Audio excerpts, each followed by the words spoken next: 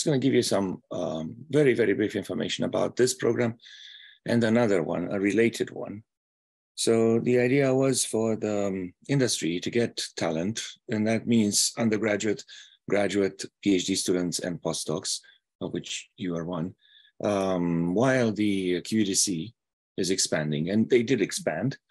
Um, and there were two programs that were growing together. One was the this one with the students who have or postdocs who have work that they want to uh, showcase, and the industry members would be interested in maybe making them offers and interns and so on. But there was a second program which is called Office Hours, where students come and they get mentors, uh, which are basically people from the industry.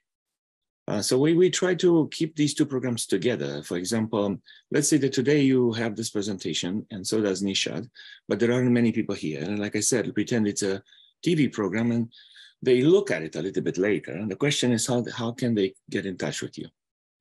Um, and one option would be through the um, office hours, but you probably don't need a mentor anymore. You could be a mentor. That's, yeah, maybe true. yeah, and and you can still you can still uh, get in touch with um, various uh, individuals from the industry.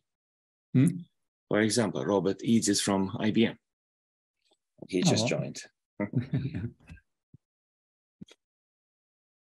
and more people are joining as it's almost three o'clock. I'm, I'm looking for the for the third presenter. Um, we could also, you know, get started and when he joins, he joins. You want to get started, Bernard? Whatever suits you best. Um, it's fine for me. okay. Well, so let me just uh, get started. Uh, this is the QEDC Workforce uh, Development TAC. And today is September 19. It's a Tuesday, 2023. Uh, we have our um, Quantum Talent Showcase for uh, scheduled for this month. Um, we have three people, three presenters in, uh, in the program. You see them all on the screen because I believe I'm uh, sh sharing the screen. Uh, the second presenter, Anirban Mukherjee, is not able to make it today, but uh, we do have uh, Werner from uh, University of Technology. And soon I think we'll have Nishad Maskara from the Lukin Group at Harvard um, ready to present their presentations. So um, because it's three o'clock and because, you know, in the interest of time, we'll have 30 minutes per presenters, 25 minutes plus five questions and uh, answers. I would like to let Werner share his screen while I say just a few words to introduce him. So I'm going to stop sharing. And while uh, Werner is setting up, um, I'm just going to say that um, as was on the screen a few minutes ago. Uh, Werner has um, uh, his undergraduate studies in physics at Graz University of Technology in Austria. He earned a PhD in theoretical chemistry under the supervision of Professor Ali Alavi at the Max Planck Institute of Solid State Research in Stuttgart, Germany. And currently he is a Marie Curie postdoctoral fellow at Chalmers University of Technology in Sweden, where he is developing no novel quantum computing algorithms to allow accurate quantum chemistry calculations on near-term quantum devices. So I'll, um, I'll say welcome, uh, Werner, and uh, take it away. Thanks for the nice introduction. Thanks for having me. I hope I'm not muted and everything works. Now I'm back in full screen. It's good. Yeah, yes. I assume yes. Thank you. so yeah. So uh, as Adrian said, my talk today will be on how we get toward real chemical accuracy on current quantum hardware through the so-called transcorrelated method. And a short outline of my talk. Um, first, I will more um, in general talk about the motivation and the field of electronic structure theory and quantum chemistry uh, in a broad, broad strokes. Then I will introduce this uh, transcorrelated method, which is a correlated ansatz to reduce the computational footprint on quantum hardware. And in the end, I will show a few results uh, on the Hubbard model and ab initio quantum chemistry problems before I conclude. So in the field of electronic structure theory, uh, we are interested in uh, a multitude of interesting systems. For example, um, high temperature uh, superconductors like the cuprates, uh, which where the two-dimensional copper oxide planes are responsible uh, for the unconventional high TC superconductivity uh, of these materials. Or for example, uh, more chemical problems like the FeMoCo molecule, which is a primary cofactor in the nitrogenase process, which is like the conversion uh, of uh, nitrogen uh, into fertilizers by bacteria close to the roots of plants, or the manganese calcium oxygen clusters, which are uh, at the core of the oxygen evolving cluster in photosystem 2, responsible for the conversion of light uh, and carbon dioxide to, uh, or light energy to chemical energy in plants. And what those systems have in common is that they are surprisingly small systems and they're responsible for very, very interesting and yet unsolved physical and chemical uh, properties. And they also have in common that they're usually very strongly correlated, which means that they are challenging systems uh, for computational approaches of today. But we do need an accurate theoretical understanding at the nanoscale to maybe have a bottom-up materials design uh, process uh, for these, uh, for these uh, processes. And the good thing about the field of ab initio quantum chemistry uh, or electronic structure theory in general is that we do have the fundamental equations at hand to get insight into these problems. Because if we want to have insight uh, into these physical and chemical properties of these materials, like the ground state or excited state energies, energy differences, response functions, and so on, we need to solve the Schrödinger equation uh, of these systems where all necessary information of a quantum system is contained in this electronic molecular Hamiltonian H, where here in simplified form, it is given uh, with the ingredients of only the kinetic energy term uh, of the negatively charged electrons, an attractive potential between the positively charged nuclei and electrons, and this very cumbersome uh, electron uh, repulsion term. Uh, and this Coulomb repulsion between the negatively charged electrons correlates all the electrons of a quantum system, which means then that an analytic solution becomes way too complex and we need approximations and computational approaches to solve this Schrödinger equation uh, of quantum materials.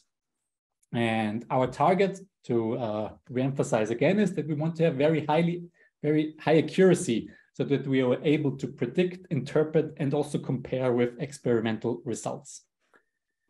And depending on how accurately we treat this uh, electron correlation, we get uh, various methods and levels of theory, like a hierarchy of methods, which uh, scales where like the accuracy and the cost of these methods scale with the system size of the problem at hand. And at the, the, the bottom of this uh, hierarchy, we have like mean field methods like Hartree-Fock or density functional theory, uh, where the electron correlation is only treated in a mean field way, which means is which means we get uh, low accuracy, but we can apply these methods to very, very large system sizes. While at the top, when, for example, we treat this uh, electron correlation exactly, we get the so-called full configuration interaction solution, which is the exact solution of a problem, but this uh, approach scales exponentially with the number of electrons and orbitals uh, in, in our system. And the idea behind my research is that I want to extend this reach and applicability of highly accurate methods to larger system sizes via the use of quantum computing approaches. Uh, why does this uh, exact solution, the full configuration interaction solution, scale exactly, it is due to the fact that if we formulate a quantum chemistry problem on, on our comp computational hardware, we usually uh, have to formulate it in some sort of basis. And the usual basis quantum chemists use are uh, the, the so-called basis sets, which are based on the, the hydrogen solutions uh, and thus resulting in these uh, commonly uh, looking s orbitals or p orbitals. And starting from a Hartree-Fock solution where we occupy the lowest energetical orbitals of our problem, in the full CI solution, to get the exact solution, we actually have to consider all the possible uh, configurations of electrons with spin up and spin down, indicated here by the arrows, in these different type of orbitals of our quantum chemistry problem.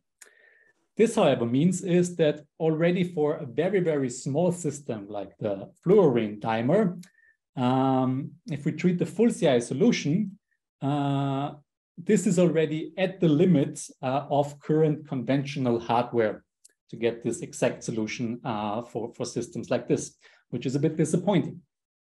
And this is kind of why people uh, are very uh, optimistic and make the case for quantum, so to say, in the field of quantum chemistry. And to sketch a little bit uh, why quantum computing uh, might provide a benefit, maybe let's compare uh, or let's start what we can encode with a classical bit. Like a classical bit can either encode the zero state, like a bit turned off, or a one state, a bit turned on. Uh, opposed to that, if we go to a quantum bit, as you might all have heard, is uh, a quantum bit can be in the superposition, like kind of a little bit in both the zero and the one state, with, of course, the restriction that uh, this, this state needs to be normalized. And we can uh, picture like the, the state of one qubit in this Bloch sphere picture where, like, for example, the zero state is indicated by this arrow pointing to the north pole of the, the Bloch sphere. And similar to conventional bits on a computer, we can also act on these bits on quantum hardware, which is usually represented in the circuit model of uh, quantum computing, where the lines represent qubits, and we can act with operations on these qubits, like, for example, a NOT gate, which then switches this zero state uh, to the one state, which is the an arrow pointing to the south pole uh, of the Bloch sphere. But opposed to classical bits, qubits can also be in the superposition between two states. For example, we can also rotate the qubit by 90 degrees around the x-axis and then end up in a state which is kind of either or and both one and zero. But of course, however, uh, if we then measure a qubit, it will still like there will be the collapse of the wave function and we will still get only a zero or a one out in the end, but with equal probability of the outcome zero and one. And one has to think about smart quantum algorithms to make use of this uh, superposition possibility of the qubits. And the good thing is also like we can formulate more general gates on a quantum computer. We can, for example, also have what's called parametrized gates, where we control this rotational angle, where uh, the qubit rotation of the single qubit uh, is, is controlled by an input to the quantum algorithm. And we can also have multi-qubit gates, which allow us to prepare uh, entangled non-classical states. For example, we can have a controlled NOT gate, where this upper line here uh, represents the control qubit. And if the control qubit uh, is in the one state, this target qubit gets flipped from one to zero. But the big benefit of qubits uh, comes if we bring multiple of those together. Because bringing, for example, two qubits together, uh, one like, uh, like now, for now ignoring a normalization of these states, uh, with two qubits, we can already prepare or encode four different states. If we then bring three qubits together, we end up with eight possible states of our three qubits. And you can convince yourself that actually with n qubits, we can encode exponentially, exponentially many states uh, on quantum hardware. And this is like the big promise and power of quantum computers. The problem though is we need to find new algorithms uh, for this new uh, paradigm of, of computing to actually use this potential advantage. And a big drawback of current uh, quantum hardware, uh, as you probably all also know, is that we uh, have very, very uh, many flaws and limits with current quantum hardware. Like we have noise, the qubits are very easily influenced by, by outside effects like temperature. Uh, the qubits easily decohere, like they don't stay in their uh, supposed state they are in. and we have a very limited number of qubits uh, on current uh, quantum devices.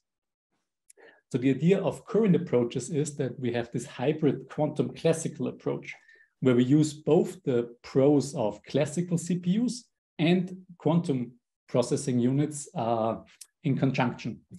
And for example, a possibility of quantum algorithms is that we use the um, QPU uh, to prepare non-classical states on quantum hardware uh, with the possibility to store uh, exponentially scaling uh, states and then measure certain uh, operators of interest on quantum hardware and then use the classical computer to, for example, optimize these gate parameters uh, which uh, determine the quantum state we are uh, preparing.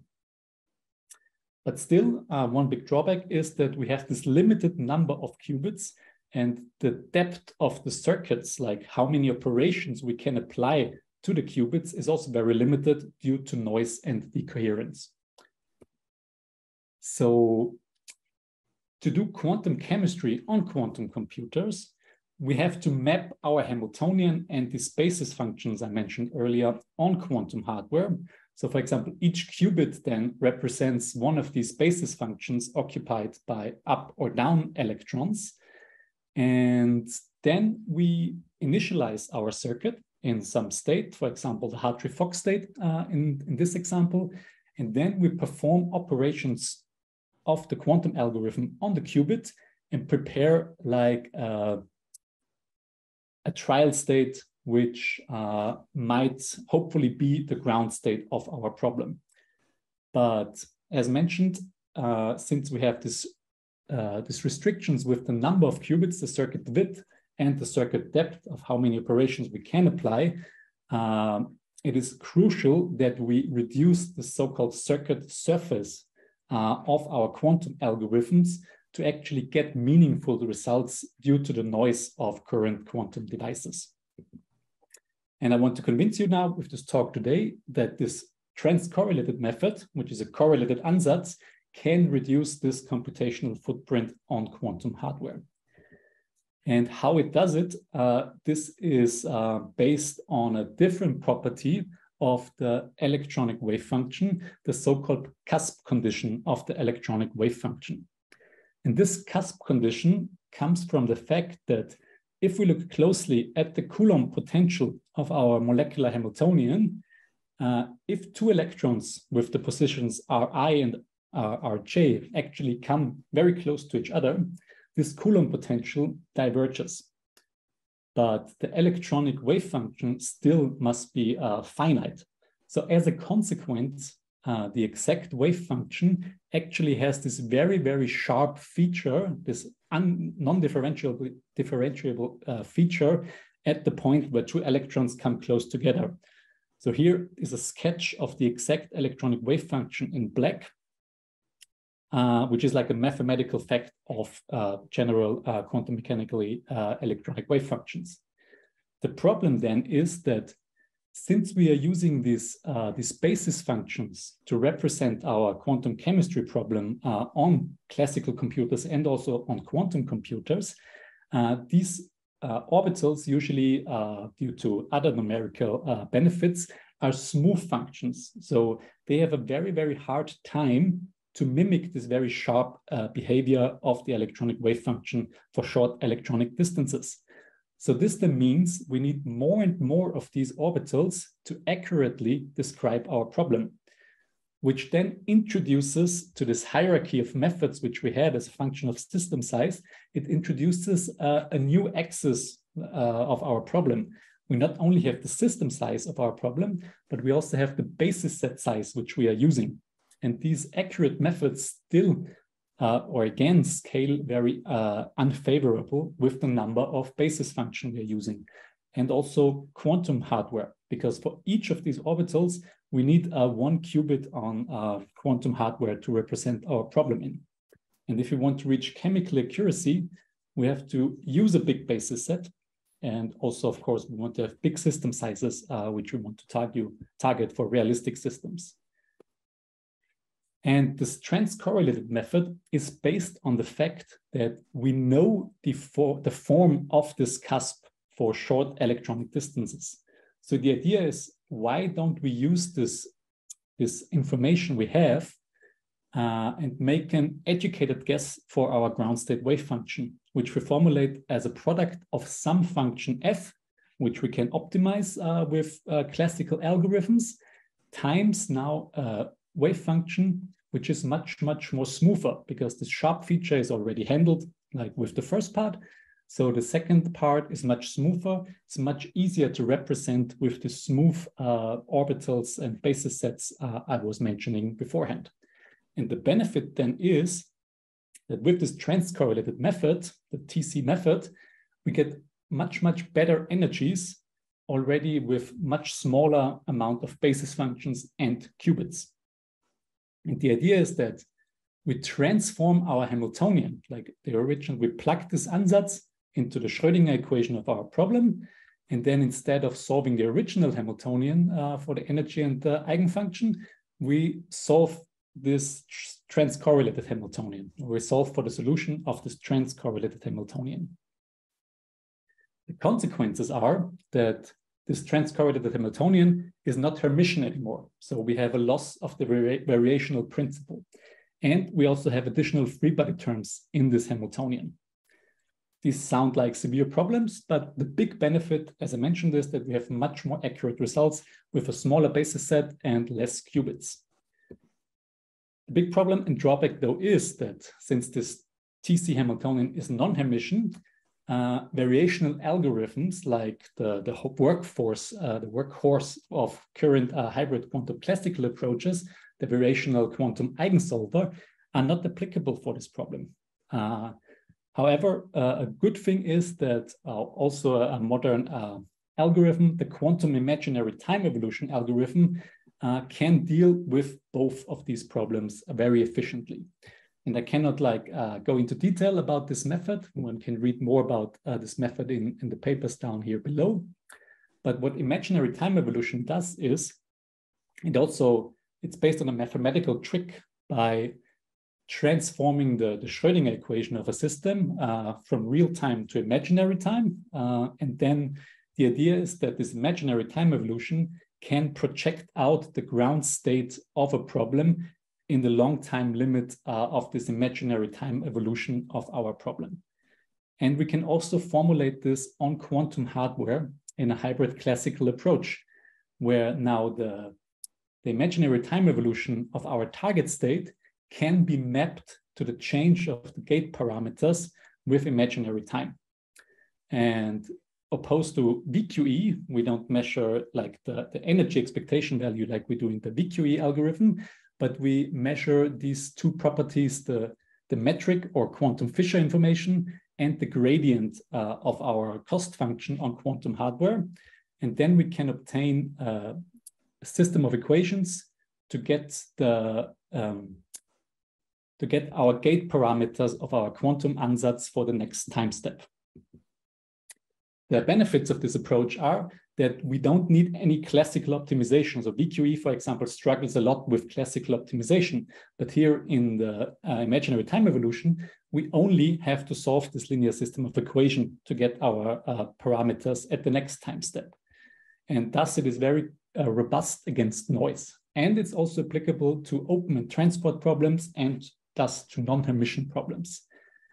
A drawback, though, is that it's a second order method. It's cost more costly because this metric, which we need to measure on the quantum device, scales uh, with the, the square of the number of parameters of our ansatz. And this matrix A, the metric, can be singular. So the inversion can be problematic.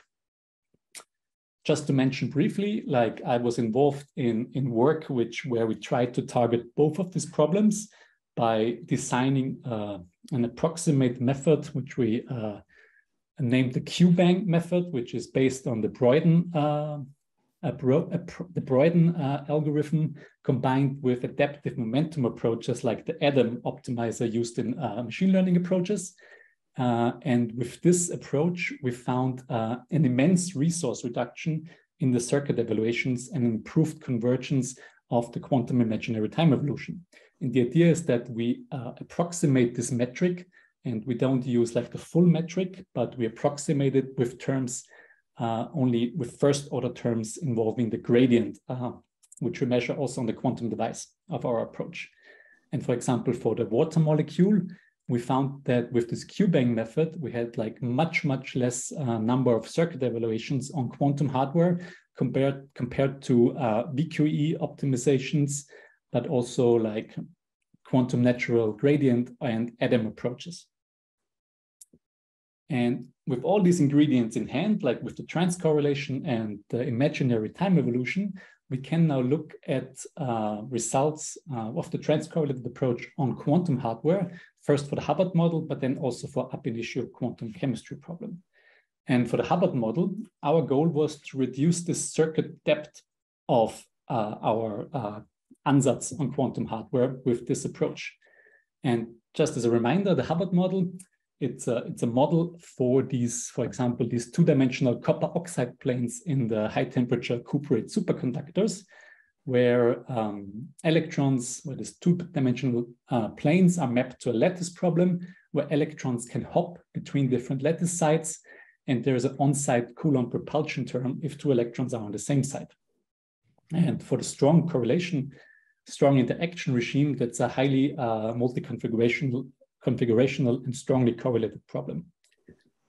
And what we were able to show is that this transcorrelated approach allowed us to have much shorter, shallower quantum circuits to get much, much more uh, highly accurate results. What, what we did, for example, is we looked at the ground state solution um, for four site and the six site Hubbard model.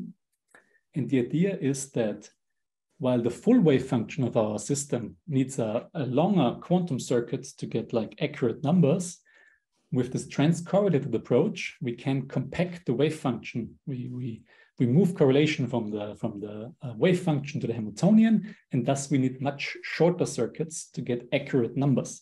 And we were able to show that, for example, here um, using noiseless state vector simulations, but already with one layer of a unitary coupled cluster ansatz for this four and six side uh, Hubbard model, we got like orders of magnitude uh, increased accuracy. This is like the energy error with respect to the exact solution, while in blue is the original results and in red is the transcorrelated results. We chose this transcorrelation, gives you much higher accuracy for shorter quantum circuits. And we were also able to show this on real quantum hardware, uh, here only for two-side Hubbard model. So it's quite uh, only a toy model, of course. But again, like using their hardware efficient ansatz, we were able to show that this transcorrelated approach uh, yielded much, much higher accuracy uh, for this uh, hardware efficient quantum circuit compared to the original results uh, shown here in blue and bright pink. Moving now to ab initio problems, uh, where the idea is that we want to reduce the circuit width, like we want to reduce, we want to get higher accuracy with a smaller number of qubits. And we looked, for example, at uh, start with, with very small problems like the beryllium atom, where again, this is an exact simulation uh, without noise. And the goal here is that we want to reach the so-called complete basis set limit. Like if we would have an infinite size basis set, that would be the, the exact solution which we could compare to actual experimental numbers. And the transcorrelated approach allowed us to get like with an order of magnitude less qubits, get highly accurate results close to the CBS limit, like within chemical accuracy. While traditional methods need uh, hundreds of, uh, of the spin orbitals or basis sets, uh, basis uh, functions, the transcorrelated method only needs a, a dozen to get uh, equally good numbers. And if we move then to a slightly bigger problem like lithium hydride, again, we were able to show that with this transcorrelated method, combined with one other ingredient, like because the standard basis sets, which are tailored for these conventional approaches, they are not quite optimized for the transcorrelated method.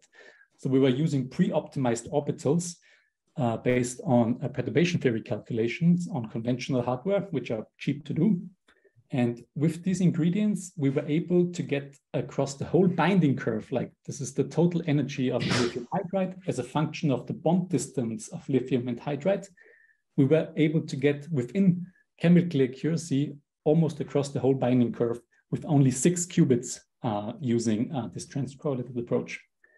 And to target like real numbers, we were looking at the dissociation energy of lithium hydride which is like the energy difference between the bonded lithium hydride compared to if we dissociate uh, lithium and hydride, which is actually, actually experimentally uh, measurable.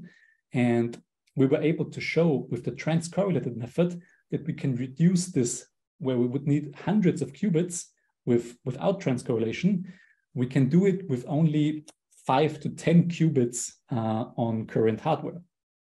However, this plot shows the big influence of noise because these are noiseless simulations. While if we include the actual noise on quantum hardware, we get uh, far off this actual uh, optimal uh, result we can get. However, just as a short mention, there are efficient error mitigation techniques, and we were working on a chemistry-based uh, error mitigation technique, which you can read more about in this paper, because I don't have the time to go into it. But if we do this error mitigation, we were actually able to get results within chemical accuracy on actual quantum hardware, uh, which is usual nowadays, like in the cloud, with this transcorrelated approach, transcorrelated approach on current uh, hardware.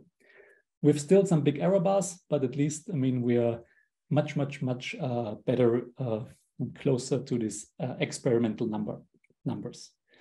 So in conclusion, I hope I could show you that this transcorrelated method by partially transferring electronic correlation from the wave function to the Hamiltonian massively reduces the qubit requirements and circuit depth on current quantum hardware. And with efficient error mitigation techniques, this extends the applicability of current and near-term quantum devices to more relevant quantum chemistry problems. And I want to acknowledge and thanks my collaborators uh, uh, in this project, uh, like Igor, Ali, Martin, and Ivano, and the funding uh, from the European, European Union, uh, which enables my research. And I want to thank you for your attention and sorry for being um, a few minutes over time.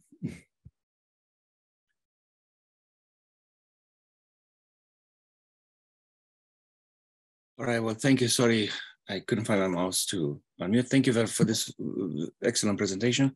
We now open the floor for questions anybody has a question that would like to answer, to, to get an answer to, either write it in the chat or please go ahead and speak up. So probably a dumb question, but um, have you ever thought of actually using Slater orbitals instead of Gaussians and constructing your basis sets? I mean, because basically then you're better at the cusp. I it's know you then uh... you have to do the integrals numerically, um, it's definitely not a stupid question. I mean, that's a very, very valid question. Um, but Slater orbitals, though uh, they miss like Slater type orbitals, they capture the, the electron nuclear cusp. So the electron, actually, cusp is still like a problem, even with Slater type orbitals. Yeah, but they have um, the long range is better. I mean, so you get by with better. No, definitely. I mean, using Slater type um, orbitals would in, uh, like like improve but as you mentioned i mean they have then different uh, problems in the numerics yeah. doing all the integrations so there's a trade-off but of course i mean there are different approaches like using slater type orbitals or also like real space approaches uh, grid based approaches which yeah. could also circumvent but again come with with different problems i'm i'm actually old enough that i actually worked on and used codes that had actual slaters in them. and, and also and also the early codes that used Gaussian functions, you know, before there were derivatives, analytic That's derivatives. That's true. but still, I think, I mean, yes, you're right. I mean, the long time, long range behavior is definitely better, but uh, this electron electron cusp still is a problem. So, I mean, it would be interesting to look at like the combination maybe with Slater type orbitals in general. Okay, so this yeah. question was, uh, okay, go ahead. No, go ahead, Adrian. That's well, what I was saying, what I was going to say is that um, thank you very much for this question. This question came from Rob Eads from IBM, and before the presentations, we collect some information from our presenters, and I would like to return the favor of asking you a question from Werner. So he said, this was in the category, do you have any questions for our industrial members, of which you are definitely one? What are the expectations and long-term plans of the industrial academic partners concerning the usefulness of quantum computers? Phrased differently, how patient are you, Rob, with the development of both hardware and software solutions until quantum computers can provide a real benefit to practical problems from IBM's point of view? I would say we're very impatient. we want everything to go faster, not only our research and development, but everybody else's. And and I mean, as you noted, Werner works with Ivano, who's in our um, Zurich research lab and is yet another quantum chemist. Um, and and so, I mean, the, the work that uh, Werner talked about is exactly the type of work that that I would say we we want to be seeing the academic community doing, um, because it, it greatly improves the ability for us getting sooner to be able to solve real problems and and to be able to you know show that there is a, a quantum advantage um, in using quantum computing. Thank you and, actually I, I admit my bias, but my belief is because of the scaling of the complexity that comes from electron correlation. And, and fundamentally in chemistry, the interesting stuff about chemistry happens when you have uh, highly correlated systems, that it's a primary area where I think we have the greatest likelihood of seeing quantum advantage.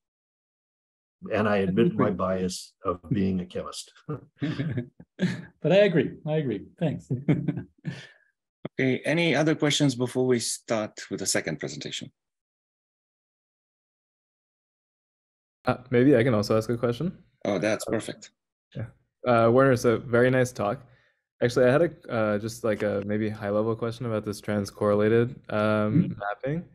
Um, here, you kind of showed an example where like uh, uh, it kind of like actually managed to reduce like the circuit depth required to like achieve a particular energy accuracy. Um, uh, but then you also mentioned that like now the Hamiltonian becomes non-Hermitian. Are there any yes. cases where this trade-off is like um, unfavorable, or does it always help? Um, uh, it depends. I mean, the thing is for the Hubbard model, it's a bit special because in the Hubbard model, you have a complete basis. So that's kind of the, the difference to like the quantum chemistry problem. Uh, so in the Hubbard model, hmm, still, I mean, you have an optimization, which I was not showing. I mean, this, this, this ansatz in the Hubbard model, it's like a one parameter optimization. So it's quite easy, but you can definitely make it worse. So if you do not optimize this ansatz beforehand, which is luckily cheap, um, you would get worse results. Similar for the, the quantum chemistry problem. I mean, this, this, this ansatz, which you do, like in the quantum chemistry case, it's like a Jastrow ansatz, which is quite commonly used, for example, in variational Monte Carlo. But if you mess up your like pre-optimization of this ansatz, uh, you get worse results. But luckily, I mean, the, the VMC community, I mean, they have a long, long standing experience with these factors. And luckily, it's also quite cheap. So it's only scaled with the cube of the number of electrons. So you don't have an exponential like prefactor hidden somewhere. So if you do this properly, uh, you usually get improvements. Although, I mean, if you scale to bigger systems, also transition metal uh, uh, systems, I mean, one has to uh, be careful. I mean, it, it can also uh, deteriorate sometimes. Gotcha. Okay. And, and the uh, importance of doing the the optimized natural orbitals to use those as the basis in the chemistry problem. This was just like uh, I mean, I, I was thinking of ways to to to really get the best bang out of the buck. I think that's the phrase. Um, and I mean, I started with different type of orbitals. I was first like doing CASSCF orbitals, but then that kind of felt like cheating because I mean, CASSCF, I mean, if you can do that, I mean, I mean, there is no, I mean, it, it, it's an exponential scaling uh, approach. Yeah. So then I was going to more like cheaply optimized orbitals, but I just found that it really, really increases the, the, the, the, the strength of the method. And I guess mainly because, I mean, this, as you know, this Gaussian type orbitals, uh, this, for example, the, the correlation consistent type orbitals, I mean, they are optimized for these conventional approaches. They are not optimized for this TC approach. But there's also like other work from other people now doing like transcorrelated orbital optimization so like doing this whole orbital optimization process uh, within a transcorrelated framework to get even better orbitals. But that's still still work in progress, I think. Okay, thank you. All right, so I'm not very sure what I'm sharing, but my hope is that I'm sharing the full-blown slide for today that shows the two presenters. We had three presented, uh, registered, but one of them has health problems. So with thanks to Werner for his uh, great presentation uh, and, and to everybody for the questions, including Nishad for the last question, I think we're ready to get started with the second uh, presentation. And uh, now if Nishad would like to take the screen away from me, I'm just gonna say a few words about him. As you can see on the slides, he's a graduate student in Mikhail Lukin's group at Harvard working on designing hardware-tailored approaches and applications for near-term quantum simulation problems. Um, he has worked on theoretical problems in many-body quantum systems, including far from equilibrium dynamics and topological order. He did his undergraduate studies at Caltech, where, where he worked on machine learning approaches for quantum error correction and classifying phases. So with this, Nishad, take it away. I'm gonna, yeah, perfect. Okay, great. Uh, can you guys see my screen? Yeah, can you try to put it in presentation mode? Yes. Perfect.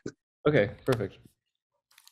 So uh, thank you, Adrian, for the invitation to talk today.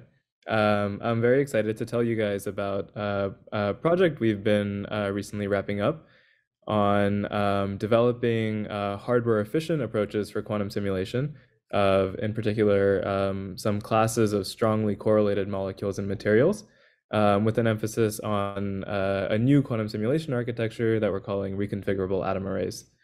Um, and I just want to highlight that uh, this is kind of a collaboration between a few different groups, including the Lukin group at Harvard, along with um, Susanna Yelin's group at Harvard, as well as the group of Martin Head-Gordon um, at UC Berkeley. Um, okay, so uh, just to give a sense of kind of like the community that I come from and kind of the motivation for uh, the stuff that we are um, going to be talking about today uh, is uh, the field of programmable quantum simulators. So um, the kind of goal of a programmable quantum simulator is to, um, you know, using uh, like uh, simple hardware controls, um, uh, for example, like optical lattices or um, atoms and tweezers, uh, generate some type of uh, uh, efficiently generate some type of interacting quantum many-body system as a route to kind of understanding and probing features of quantum many-body dynamics and um, exotic quantum phases. Um, so, you know, in particular, like an uh, example of this approach, which people um, have been uh, pursuing over the last decade or so, are um, kind of like uh, analog simulation um, approaches to studying things like the Fermi-Hubbard model. Um, and you know the nice things about these analog um, quantum simulators is that they can generate interactions very efficiently.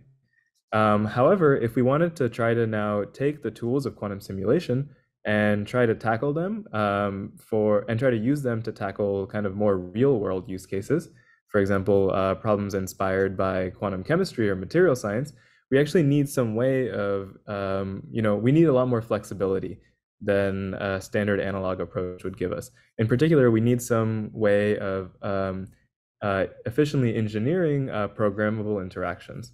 So what we're going to do today is kind of show how um, we can use some new um, ideas in the quantum simulation community in order to naturally introduce uh, a degree of programmability into these kind of analog quantum devices.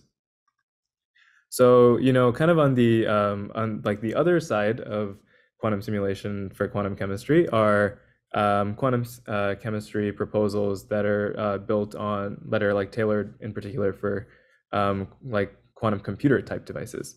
So um, actually recently some very nice resource estimates from the Microsoft group uh, essentially looked into how hard would it be to solve different types of um, quantum chemistry problems on a fault-tolerant quantum architecture. And uh, if you just look at like the numbers that they were able to produce, um, the results are actually kind of uh, disheartening at first. In particular, you know, if you look at like a quantum chemistry application here, you see that like the you know runtime that they suggest is something that would take like months or centuries, and it's assuming that all of the uh, quantum computing architecture uh, kind of comes together uh, as projected. Um, now, there's many uh, sources of overhead that lead to such a large estimate. Um, in particular, you know, some of the things which contribute to this overhead are like the complicated mapping of a quantum chemistry problem onto, you know, digital quantum hardware.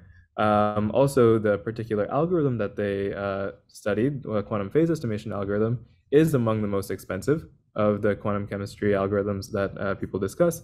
And lastly, they also considered kind of the like fault tolerant regime of a full error corrected quantum computer. And so a lot of these contributions also come from um, the overhead from quantum error correction. Uh, however, you do see that when you compare like a full quantum chemistry calculation to something more like quantum dynamics, where here they just studied the 2D Ising model, um, uh, the dynamics problems do seem to be qualitatively quite a bit easier because you know some of these uh, sources of overheads can be significantly reduced. Um, so you know another way of kind of uh, phrasing what we're going to be doing today is trying to see if we can solve certain classes of interesting chemistry and materials problems um, using kind of tools that allow us to simulate quantum dynamics. Okay, so with that, um, let me maybe uh, dive into the particular approach that we're going to be um, proposing uh, and discussing today. So um, the approach is going to be essentially based around these ideas of model Hamiltonians. So at a very high level, the way that model Hamiltonians work is let's say you have some uh, complicated electronic structure problem. Uh, for example, here is a molecule from biochemistry, or we could also consider something which is more from like material science. Um, the idea is to use uh, powerful classical computational uh, chemistry techniques as a way of uh, reducing the problem onto something which is much easier to simulate on quantum hardware. Um, in particular, if you like, say, for example, look at this biochemistry molecule, you'll see that some of these sites are transition metals. And um, these transition metals have lots of unpaired valence electrons. And in particular, in certain molecules, um, some number of these unpaired valence electrons will uh, remain unpaired, um, even at very low energies. And in particular, they, if they localize onto these sites, then they form um, effective spin degrees of freedom. And these uh, spin degrees of freedom will have uh, interactions which essentially dominate the low energy physics of these molecules and materials. Um, so these interaction parameters can actually be computed classically using some of the approaches um, that came from uh, Martin Head-Gordon's group. Um, and in general, they like lead to some type of like very complicated spin Hamiltonian. Um, so it could, you know, have uh, spin interactions, uh, like single body spin interactions, two body spin interactions, and in general, even higher order spin interactions. Um, and furthermore, each of the individual spin degrees of freedom um, aren't necessarily spin one half degrees of freedom, but could, you know, be more naturally described as a larger spin, for example, like a spin three half degree of freedom. So our goal today is going to be to build a toolbox for um, doing simulation of these model spin Hamiltonians, whose low energy properties are actually very hard to compute classically, because in some sense, these model Hamiltonians uh, distill the strongly correlated part of the um, electronic structure problem, which is most difficult to solve classically. Uh, however, even though uh, you know we use this idea of model Hamiltonian to significantly reduce the complexity of the problem, um, uh, quantum simulation of these model Hamiltonians itself is actually um, in practice quite challenging. And in particular, the two key features which are going to make this implementation difficult are the fact that each of the constituent spins are greater than one half. So we have high spin degrees of freedom. And second, that the connectivity of this uh, model Hamiltonian isn't necessarily, um, you know, local uh, planar in 2D. Um, in general, we're going to develop a procedure where we can handle non-local generic connectivity um, in these uh, spin Hamiltonians. Okay, so uh, with that, actually, I'll pause for a couple seconds in case anyone has any questions.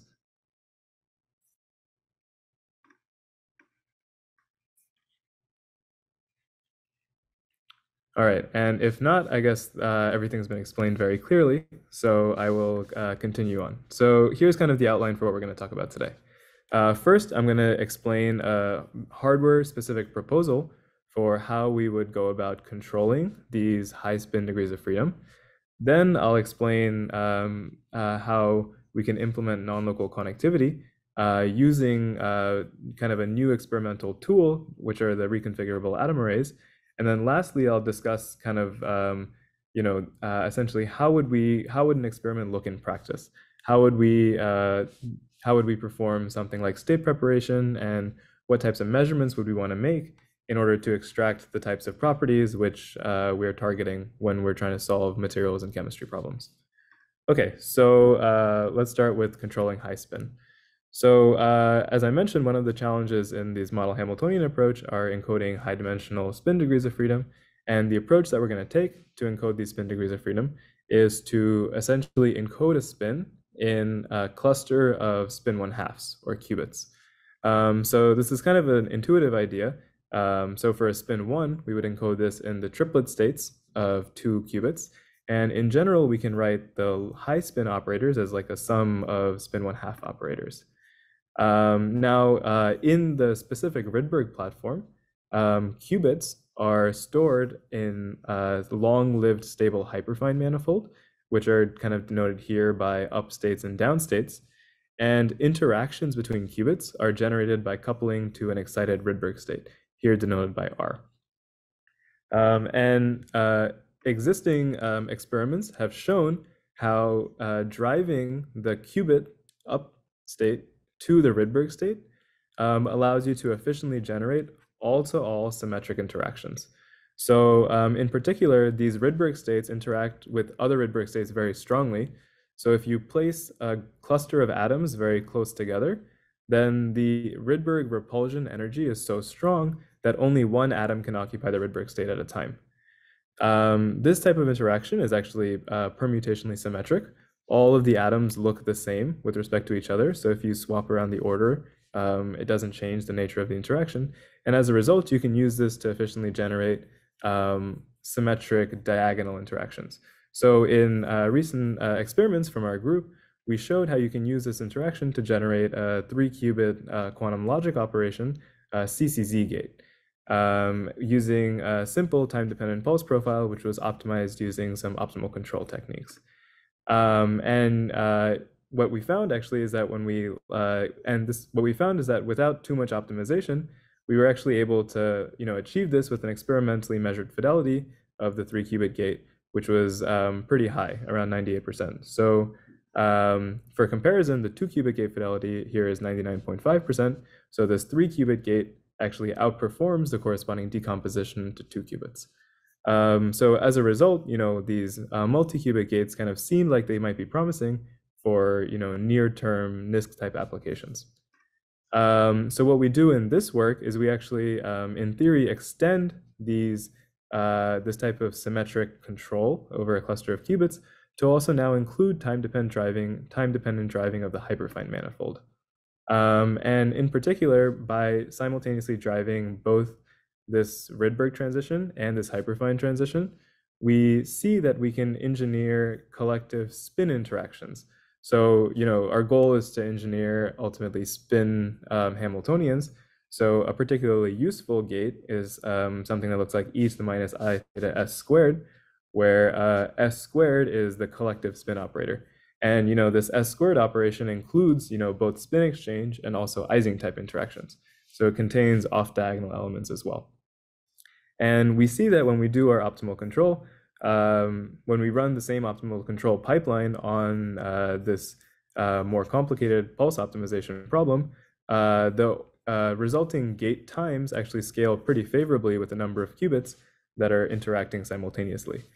Um, in particular, if we demand a very high degree of accuracy, something on the order of 10 to the minus 6, then we see a scaling that's roughly linear in the number of qubits, but if we're um, okay with uh, slightly, uh, with uh, also pretty high but um, looser threshold uh, on the order of 10 to the minus 3, then we actually find that we can engineer this gate using almost constant time um, with the number of qubits. Uh, so, you know, in particular, these approximate gates could be quite promising for uh, near-term, you know, analog almost type simulation of these interacting spin Hamiltonians. Okay, so uh, with that, next I'll discuss um, how we could try to encode non-local connectivity using uh, the reconfigurable atom array platform. Um, but I guess before I go into that section, maybe I'll pause here and ask if there's any questions about the uh, gate construction. So since you're pausing from time to time, maybe I can encourage people, if they have questions that they would like to get answered during one of these pauses, they could type them in the chat. Yeah, I think that's a great idea. Yeah. Okay, and I'll keep going for now. Um, but Adrian, if you get any questions, feel free to interrupt. Um, okay, so uh, next we'll discuss the non-local connectivity um, and how we would implement this using reconfigurable arrays. So, um, you know, another key challenge, which is particularly important if we want to simulate um, models of materials which are inspired by um, physically uh, realistic problems, is the non-local connectivity. Um, and, uh, you know, one of the key tools we're going to leverage is um, was recently demonstrated in kind of two experimental papers from our group where they showed that um, when you take qubits that are encoded in these hyperfine states in optical tweezers, you can actually coherently move, you can uh, coherently transport this qubit degree of freedom simply by moving the tweezer without introducing much error. So, you know, the quantum information in the qubit is actually preserved under this transportation. Um, and in particular, they measure this error rate to be below 10 to the minus 5. So it's actually quite high fidelity, in particular compared to something like a 2 qubit gate fidelity. Um, so the approach that we're going to take here is to use this ability to move atoms as a way of dynamically changing the configuration in the middle of our quantum simulation. In particular, we're going to alternate between different configurations as a way of realizing a sequence of Hamiltonians. And then by realizing the sequence of Hamiltonians, we're going to be able to simulate the target dynamics by using um, essentially Floquet engineering or time-dependent Hamiltonian engineering to engineer the appropriate effective Hamiltonian. So let's go through this with a simple example. Um, let's consider a target Hamiltonian that acts on high spin degrees of freedom with some arbitrary two qubit interaction. Uh, this interaction is in general highly programmable. For example, it could be some combination of a symmetric Heisenberg type interaction and an antisymmetric DM type interaction, both of which arise in real materials um, due to different underlying physical phenomena. Um, so in the first step of the procedure, we would reconfigure the atoms such that representatives from each of the large spins um, interact with each other. Uh, then we would apply a two qubit gate, which essentially encodes this symmetric and antisymmetric interaction just at the level of the interacting spin one halves. Um, so the important thing is that in this step, because these clusters were connected by a non-local move, you can use these two qubit interactions as a way of mediating generic long-range connectivity um, between the underlying large spin degrees of freedom. However, this interaction in general violates the large spin encoding because it doesn't respect the permutation symmetry within each cluster. Um, so because it doesn't um, uh, because it doesn't respect the large spin encoding into this cluster of qubits, we need to apply a second step. This time we're going to apply a gate which uh, acts within each cluster. And the purpose of this second gate is to create an energy gap between the symmetric states and the states that are not symmetric. Or in other words, between the states that are encoded, that encode the high spins, and the rest of the Hilbert space. And um, in particular, when we apply this gate, it's going to you know, apply an energy or a phase to the uh, terms in HI, which changed, which took us away from this encoding space. Um, so once we have this ability to engineer both HI and HC, uh, we can actually use ideas from Floquet engineering, and in particular, some very nice work from this uh, uh, PRX here showed that by engineering an appropriate sequence of frames, uh, where you carefully choose the time evolution times under HC and HI, um, on average, you can ensure that this HI Hamiltonian realizes the target Hamiltonian up here. So, you know, the key idea is that um, we took a simpler spin one half Hamiltonian and project it onto a more complicated higher spin Hamiltonian um, using these Floquet engineering ideas. Um, good. So uh, let's kind of quickly discuss uh, how we can uh, understand the performance of this approach um, and compare it against like conventional two qubit based approaches. So uh, there's kind of uh, two key um, benefits of the Floquet projection approach. First is that it allows you to engineer shorter Floquet sequences, as we'll see shortly, which actually reduces the kind of propagation and buildup of Floquet errors. The second is that uh, because we're using multi-qubit gates, and we've uh, showed this, you know, ability to efficiently apply multi-qubit gates, um, this also allows us to more efficiently generate certain complex interactions which appear in real systems. Um, however, you know, the downside is that when we do this Floquet projection procedure, it in general also introduces some gate overhead. So we're going to need to find situations where the benefits from these first two um, outweigh the overhead from the third. So the first system, the first system we're going to think about is a very simple one, where we just have two interacting large spin degrees of freedom. Uh, so imagine these two spin degrees of freedom are interacting with some coupling coefficient j over 2s, where this normalization is chosen so that the energy of this Hamiltonian is extensive. Uh, then we can think about uh, two different approaches. And actually, I realize I flipped the colors here, so apologies for that. Um, where uh, the Trotter approach, which actually corresponds to the orange line here, is where corresponds to the one where uh, the different pairs of spins between the different clusters are grouped into um, five interactions at a time. And uh, so here we're thinking about like a spin five half uh, or the rightmost point here. And because there's in this s squared term here, um, 25 two qubit interactions, five times five, we can split these 25 interactions up into five mutually commuting groups. Uh, and the, in the Trotter approach, we would simply apply these five mutually commuting groups one after another. Um, for a generic spin size, the number of steps we would need scales as 2s. So for spin 2, this would require 4 steps. For spin 5 half, this requires 5 steps. And um, as you see, the length of the Floquet sequence needed in order to um, uh, realize this interaction just using two qubit gates uh, actually grows with the size of the spin. And as a result, the maximum evolution time that we can uh, simulate for a given error budget um, actually decreases with the spin size uh, for this simple example. In contrast, the Floquet approach um, involves using this uh, multi-qubit interaction that generates an energy gap, and then just one of these groups of five. And even though this group of five doesn't respect the spin symmetry, this uh, multi-qubit interaction allows us to effectively project it onto the target large spin interaction. And when we do this, when we um, uh, simulate this approach and compute the accessible evolution time, uh, we actually see that this approach doesn't seem to scale with the spin size.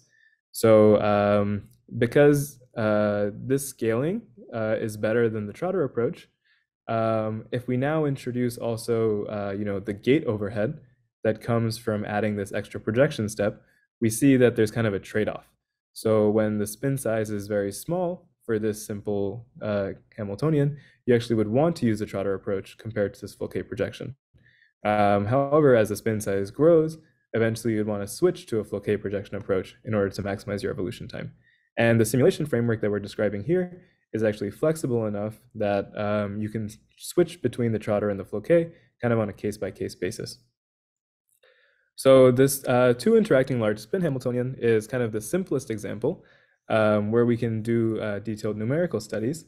Um, however, we also anticipate that as we increase the complexity of the underlying spin Hamiltonian, for example, by increasing the uh, number of interactions that each high spin participates in, and also you know also considering the effect of higher order interactions, for example, um, s dot s squared or s dot s cubed interactions by uh, biquadratic and bicubic interactions, which also appear in real materials. Um, the multi-qubit uh, Floquet projection approach, um, the scaling advantages really start to pay off. So um, in particular, if we consider something like a spin two model on a square lattice uh, with um, two qubit like uh, s dot s squared interactions, and also like something uh, like an AKLT style Hamiltonian, which in general would require going all the way up to s dot s to the fourth, um, we see that these multi-qubit interactions described before can significantly outperform the corresponding two-qubit interactions just because engineering these interactions is very expensive. So um, we also checked how expensive it would be to um, do some two-qubit decompositions of something like, say, s dot s to the fourth and uh, that would here correspond to this column four here. And we see that the two qubit decomposition scaling is very, very expensive when compared to the multi-qubit case. Um, so as the complexity of the interactions and the connectivity also grows, um, this Floquet projection approach seems like it'd be more favorable um, in the more complicated limits. Okay, so uh, good. So um, so far I've discussed how we could use this toolbox as a way of engineering uh, Hamiltonian time evolution. However, we can also use the same um, hardware simulation framework in order to uh, simulate high spin circuits. So the simplest way to think about this is that when we apply this alternating combination of HI and HC, it realizes some effective Hamiltonian HF. And uh, by changing the coupling coefficients in the HI interaction and the rotation angles here, you can essentially tune this HF uh, Hamiltonian that you apply. And you can do this kind of on a layer by layer basis. So in that sense, this allows us to implement high spin circuits. Uh, specifically in the circuit case, uh, we can also consider further optimization of the rotation angles um, in order to engineer more complicated interactions very efficiently. So here actually is an alternate route to engineering something like a S dot S cubed interaction, where we variationally optimize a sequence where we alternate two qubit gates and three qubit gates for two interacting spin three halves. And we see that um, in this case, you actually also have a lot of control over the higher order interactions um, specifically because of the higher order commutators that appear in this uh, Floquet expansion. Um, so, uh, you know, at a very cartoon level, uh, what this allows us to do is actually have now like a fundamental building block, which is like a high spin two qubit gate with very tunable two qubit uh, gate parameters. Um, and we can piece this together in order to realize a variety of different state preparation circuits um, where you know it's kind of a context dependent thing which one of these would be the best thing to use so for example we could imagine using some type of adiabatic state preparation we could also use uh, vqe or um, imaginary time evolution state preparation approaches or we could also use some um, ideas related to directly encoding tensor network states um, in our quantum simulator as another potential state preparation approach okay so uh, with that, that kind of wraps up the section on how we would um, implement non-local connectivity and efficiently engineer interactions using this uh, framework. Um, so maybe I'll also pause again for more questions in case there are any. I don't see any in the chat. Okay, great. Then we can continue onwards. Um, so the last section of the talk is with regards to, uh, you know, state preparation is with regards to essentially efficient readout. So um, uh, if we wanted to do like a useful quantum simulation, uh, what we what we would like to produce at the end of the quantum simulation is some type of chemical property or material property. And one potential target is like the low energy spectrum of a molecular material. So the approach which we're going to use is um, to combine the efficient time dynamics. So all the stuff I just described in terms of Hamiltonian simulation is essentially a way of efficiently implementing time dynamics in the Rydberg atom simulator. Um, and also uh, projective measurements, which are kind of the natural measurements that you get when you do quantum simulation. So for example, projectively measure uh, each qubit in say the z basis. Um, so, uh, and you know, the key idea here is that these measurements are super information dense. Uh, and so by combining um, time evolution and projective measurements, uh, we can extract a lot of information about the spectrum of the Hamiltonian. So the envisioned circuit involves uh, state preparation and then also a controlled perturbation step, which can also be implemented using this uh, digital high spin circuit toolbox I described in the last slide, uh, followed by time evolution and ultimately projective measurements. And when you uh, apply this type of circuit, what you're essentially doing is performing an interferometry experiment between some uh, reference eigenstate, uh, this S state, and a probe state, which is prepared by this controlled perturbation, which we're going to call R. Um, and when we do this snapshot measurement, it allows us to essentially access all operators which are diagonal in the measurement basis. So um, I don't have time today, unfortunately, to get into the details of this, but uh, we've been developing some kind of hybrid algorithms uh, which do some classical processing, uh, significant classical processing of the snapshot measurements, um, as a way of extracting detailed information about the spectrum. And so here's kind of an example of what you would see when you apply this procedure to a simple model with two interacting large spins. So, um, you know, first, if you just look at this black curve here, you could compute something like a density of states. Um, so this model has, uh, you know, um, two interacting spin three halves has four eigenstates corresponding to s equals zero all the way up to s equals three, uh, total spin s. Um, and the black curve roughly traces, you know, the uh, the uh, the spectral weight um, where each of these peaks is broadened due to um, finite uh, maximum evolution time, which which ultimately comes from um, the limited coherence time of uh, you know a real quantum simulator, for example. Now, in the density of states, you do see peaks corresponding to each of the different energies, um, but because of the spectral broadening, you actually see that two of the peaks start to mix together, and they're very hard to distinguish. So uh, one of the powerful things about the toolbox that we've been developing in this uh, uh, in this context is that you can also compute the density of states, but now weighted by different observables. So if, for example, the observable we choose is like a projector onto spin equals zero and spin equals one, then we can independently resolve these two eigenstates, which just in the bare density of states uh, are kind of like spectrally broadened together. So, um, you know, the kind of key takeaway is that uh, using this um, these time dynamics uh, experiments uh, you can compute this density of states uh, with different observables plugged in here. And by plugging in different observables to compute this uh, operator resolved density of states, you can probe different information about the form of the um, about the form of the spectrum. Okay, uh, so just also to quickly flash, um, we can also use these techniques to compute uh, finite temperature properties, things like the magnetic susceptibility um, in post-processing, also all just from the same type of data set. So you can kind of choose the type of thing that you want to compute after the fact um, from the same data set. Okay, and uh, without getting into it in too much detail, uh, the expression that we use to actually compute this operator resolved density of states um, is actually kind of complicated, but kind of decomposes nicely into three different types of parts. Um, so first, we have random sampling, over you know evolution times and perturbations. And these random samples can just be generated um, kind of classically. They kind of tell you the different ways in which you're going to initialize your experiment.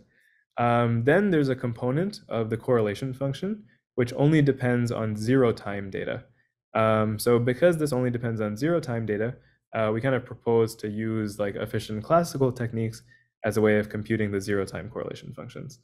Then we're going to only use the quantum uh, computer in order to compute uh, the time evolved correlation functions. And in general, because the quantum computer has shot noise, uh, this is always going to come with some like large error bars, which depend on the total number of snapshots that uh, we were able to take. So decay, you know, roughly is one over square root m, where m is the number of snapshots. And by splitting the procedure up into zero time and time t data, this actually allows us to make this density of states calculation more sample efficient. So that's kind of the key takeaway for why we want to do a hybrid classical quantum um, approach to uh, processing these snapshot measurements. Okay, and so then uh, the last thing I'd like to discuss is just some, you know, uh, kind of toy examples where we illustrate how this pr uh, procedure could be used in uh, different application contexts. So uh, first, you know, as we discussed um, way at the beginning in the model Hamiltonian context, we could imagine doing a simulation of some, uh, you know, uh, biochemical catalyst, such as the oxygen evolving complex. Um, so uh, nice uh, chemistry papers have shown how uh, the low energy physics can essentially be captured by, um, you know, a Heisenberg model with uh, large spins and four sites. So this is still small enough that we can simulate all this um, classically in order to benchmark our approach. And in particular, we've run kind of these algorithms and we see that the algorithms can, in principle, you know, extract the low-lying uh, spin ladder of this uh, biochemical catalyst. So the spin ladder is something which can also be measured in experiment and can be used to kind of compare uh, whether the um, experimentally measured results are kind of consistent with your microscopic model um, of the original structure. Um, okay, and uh, the second kind of example is something uh, like a 2D ferromagnetic Heisenberg model. So this uh, 2D ferromagnetic Heisenberg model um, is also uh, quite simple um, if we only work in the one spin flip sector, because then we can do all of our calculations classically in order to benchmark the approach. Um, but what we could do in this context, because this is an extended 2D material, is measure something like a two-point uh, space uh, and time uh, two-point correlation function. Uh, so for example, if you apply a perturbation at site zero, as the system evolves in time, you're going to see that this perturbation spreads, and it's also going to have, you know, like some positive and negative kind of sinusoidal type profile as you move out from the location of the perturbation. So by just simply computing, you know, the spectral weight, which is the Fourier transform um, of these two time correlation functions, you can compute things like the um, like the dispersion of the low-lying excitations in this model. Um, and in general, because it's a two-dimensional model, we have some two-dimensional dispersion. Uh, so, um, you know, these are some sample calculations which illustrate how this pipeline could be used when applied in, you know, complex material or chemistry application contexts. All right, and uh, with that, uh, I'd like to, you know, quickly just summarize all the things that I discussed. So first, we discussed how you can use these model Hamiltonians just kind of as a simplified picture for the low energy physics of different types of materials and how there's systematic tools for computing um, these model Hamiltonians um, in kind of an ab initio way. Uh, and then kind of the core of our work has been showing how you can take these model Hamiltonians and encode them on a programmable quantum simulator, and then use the di resulting dynamics as a way of computing, you know, properties that we care about, such as the low energy spectra. All right, and uh, with that, I'd like to thank all of my collaborators. Um, in particular, this has been a large collaboration between both computational chemists as well as um, you know uh, quantum optics and quantum simulation folks, which is kind of my background as well. Um, all right, and thank you all for your attention too. Great, Nishad, for this. Uh, I have a question. What are some open scientific problems which could potentially be targeted with your proposed framework, if you have time? Uh, yeah, so um, that's a good question. Uh, and I guess the uh, propose, you know, some interesting target problems actually live are in this like 2D magnetic materials land. Um, so uh, in general, like 2D spin systems are pretty hard to study classically. Um, people have been making a lot of progress doing these using uh, classical approaches like DMRG. Um, however, uh, you know, because our implementation kind of naturally enables us to engineer complex spin interactions, one potential target would be to study like 2D Kitaev type materials, uh, where you know things like the ground state phase diagram and uh, whether certain phases are gapped or gapless kind of remain open questions. Uh, so it'd be super exciting if we were able to use um, a quantum device in order to make progress on these problems which people have been studying for decades. Um, in uh, existing condensed matter community. Okay, any other questions? Anybody else? I wish I had more questions, but it's very late here. Thanks for the very nice talk. Uh, that was really, really amazing. Uh, a, small question. The, the last uh, stuff you mentioned about the spectral density, is this somehow related to work from people from Oxford. I think they called it something shadow spectroscopy, uh, like similar to, to, to classical shadows. But I mean, it was related also with the, they also measure uh, multiple observer observables. But um, yeah, I was not quite yes. sure. Okay. Yes. Yeah. Yeah. So actually, this is uh there's kind of a whole toolbox of algorithms I think which I've been lumping in with statistical phase estimation approaches. Hmm. where you use kind of like um, classical Fourier transforms in order to extract spectral quantities. Yeah. And yeah, I'm familiar with this uh, shadow spectroscopy approach. Um, the specific algorithms that we use are a little bit different. We do this kind of like classical quantum hybrid calculation, mm -hmm. which is a, uh, requires a little more knowledge about the zero time state that we have. And as a result, we're actually mm -hmm. able to extract a little more about the hmm. spectrum. Um, but yeah, it's, it's, uh, it's part of this kind of like large class of algorithms now where people are doing classical Fourier transforms instead of the quantum Fourier transform to uh, target spectral quantities on near-term devices. Yeah. But it's, it's not out yet, or did I? Or is this? This one's not out yet. No. So yeah. Okay. So we're we've been working hard to get this thing done, and hopefully it'll be out. forward to it. Yeah. So as far as the video recording, uh, Nishad, how how long would you like us to hold off to post the video recording? What do you think? Uh, so we plan to have this thing done, I think, like within a month. Yeah. Uh-huh. So I could also just email you once it's out and. So I could split it into two, uh, post one very right away. I mean, if Werner is okay with that. And then in the next month, whenever you email me, I'll add the second one. If that's okay. That sounds good to me, yeah. So Werner, you don't have any limitations or constraints on how soon I post your uh, uh, recording, right? No, no. Okay, good. Then I'll split it into two and I'll wait to hear from you. Okay, fantastic. Anybody else with any other questions before we uh, go away?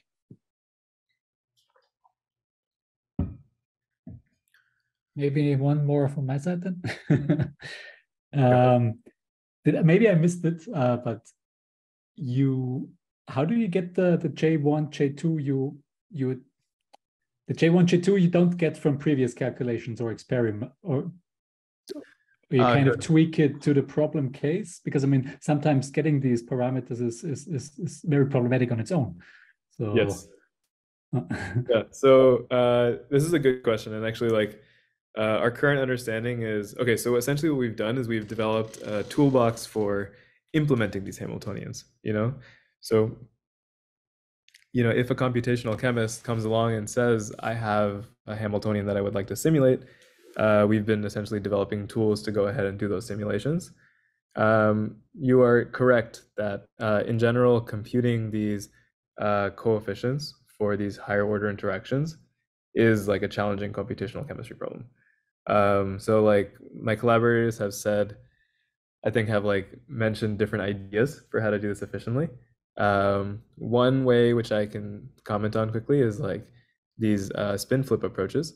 So like Martin's group has essentially um, a couple works where they like show how if you like do DFT calculations in like the all spin up state um, using some like broken symmetry DFT, and then like flip each of the spins and then run another DFT calculation.